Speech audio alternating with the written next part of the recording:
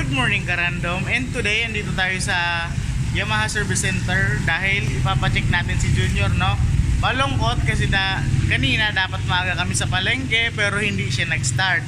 Ah, Ang aking problem kay Junior is ah, meron siyang battery. Gumagana ah, yung battery niya is 11.6 volts. Medyo mababa pero kaya pa mag-start and working yung smart key natin. So sa perspective sa tansya ko sa perspective ng hindi mekaniko and hindi expert dito sa motor na NMAX ang tansya ko ang may problema is yung side stand switch. Yun yung may problem. Pero um, sana um, mura lang no?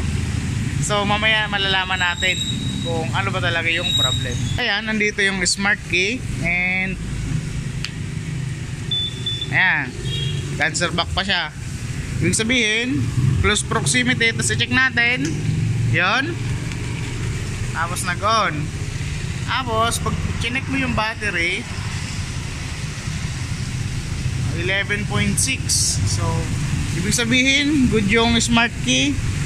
Good din yung battery, pero hindi hindi siya nag-ignition. So, naka-clip yung side stand and try natin. Ayan. Ah, wala. Ayan o. Oh. Wala. And para check, yung ating brakes is working. So working yung mga brakes, hindi lang mag uh, ignition. May limang stage na ginawa doon sa kasa. Yung unang stage is yung disassemble ng kaha, yung pairing. Pangalawa is hinanap kung ano yung problem dito sa motor Pangatlo is yung solution doon sa problem. Pang-apat is testing ng solution. Pang-lima is assembly.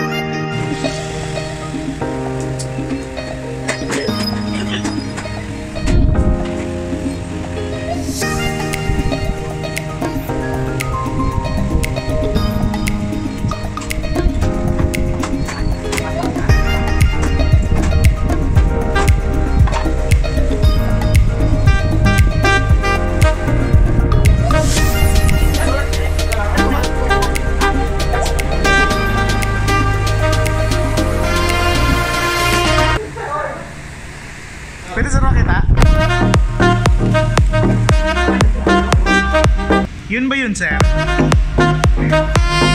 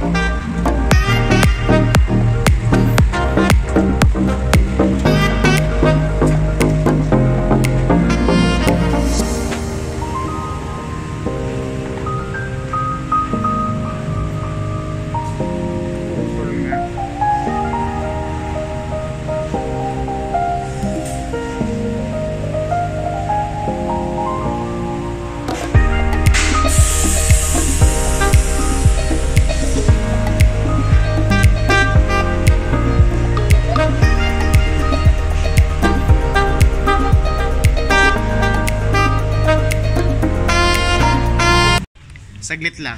Kung napaisip ka hmm madali lang gawin yun ah. Ako na lang kaya gagawa. Saglit lang mamaya pag-usapan natin yan. Back to the video.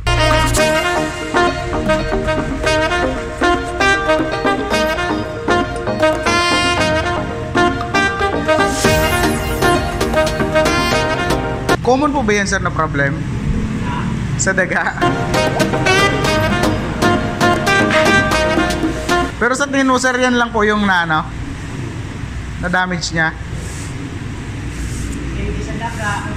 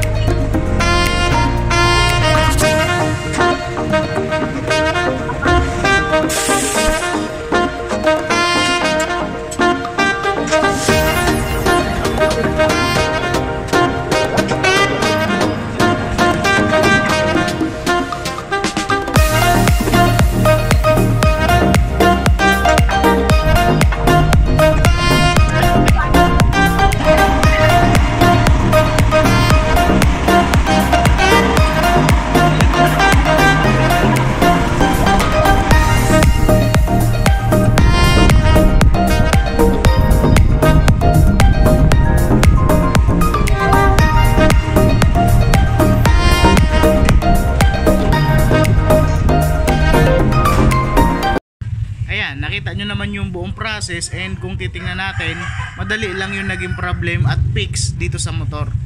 So, may, may dalawa tayong situation na pwedeng nandun ka. Una, kung ikaw ay out of warranty. Sa halimbawa, hindi na waram, wala nang tapos na yung warranty ng motor or wala nang warranty, yung second hand mo nabili, may tatlo kang option, no?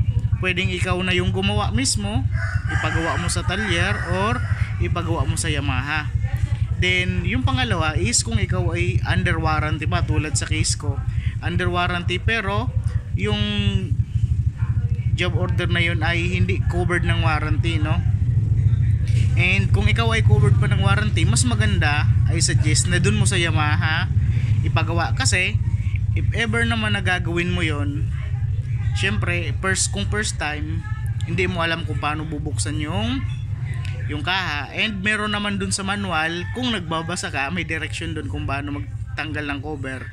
Pangalawa is yung gamit.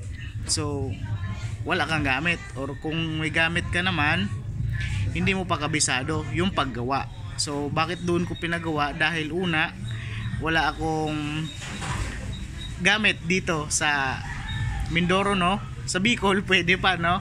Magagawa natin yan kompleto ng gamit. So dito wala akong ah, gamit then madali siyang gawin. Ang problema lang is paano ka mapupunta doon sa problem no? Kasi nagtanggal ng ng cover. So yung left side na cover is tinanggal and syempre kung first time mo yun hindi mo sure kung saan mo kakapain yung pagbaklas ng pairing nung cover. Tapos pangalawa ah doon ko pinagawa dahil una yung gagawa doon is talagang yun ang ano niya yun ang specialty. Lalo na doon sa mga motor na halimbawa NMAX is taga Yamaha kasi sila. Kaya kapang-kapa nila kung paano gawin yung motor paano baklasin at buuhin. Pangalawa hindi ganun kamahal yung yung job order noong ginawa sa akin yan. Papakita ko yan sa inyo. Ito yung resibo natin no? DES and service factory. So andito yung OR nya and ang cost of aking repair is 150 no? So napakasulit dahil doon mismo to sa kasa ginawa and authorized na Yamaha mechanic ang gumawa. So napakasulit